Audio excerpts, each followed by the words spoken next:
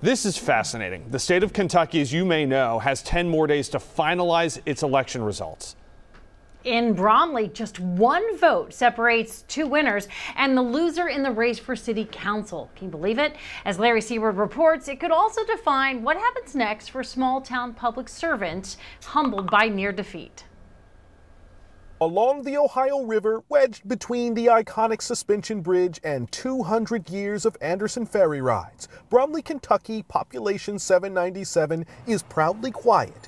Usually, its elections hardly hog headlines, usually.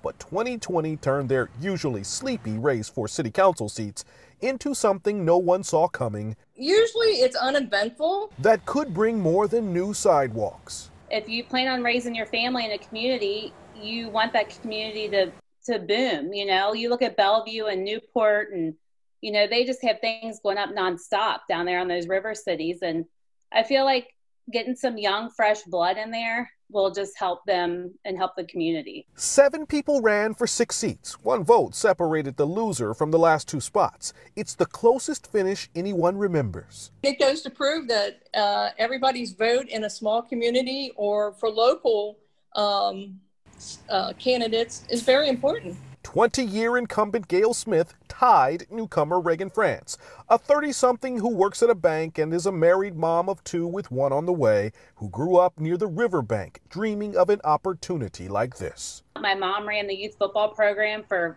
25 years. You hear a lot of people that are behind the computer screens that complain about things the city does wrong or doesn't do, you know, doesn't do quick enough. So I feel like being involved, I feel like you can only help change that. Updating Bromley's Park and getting LED lights here on Main Street are the new council's likely first steps. And though they would like to forget the stress of nearly a week of waiting for every vote to be counted, I look at numbers all day at work. I work at a bank, so I don't want to look at them at night. France and Smith cannot help savoring their narrow win.